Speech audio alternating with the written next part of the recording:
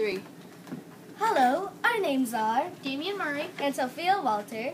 A few weeks ago was Read Across America Week, and some kids dressed up as their favorite storybook character and showed off their amazing, stunning costumes. Look at this girl. She was really ready for Read Across America week. I wish I could do my hair like that. wow, a chicken, aka Sam Punks, got really creative with his costume.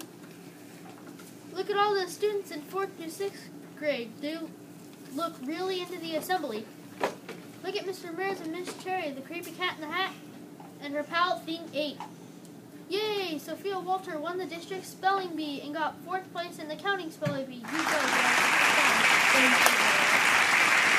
Miss Penny and Mr. Mario are watching it at the assembly. Wow, it looks like the teachers are having a good time at the assembly, especially Miss Cherry. Look at that happy face. I'm Sophia, And I'm Damien. and back to you, Adeline and Catherine.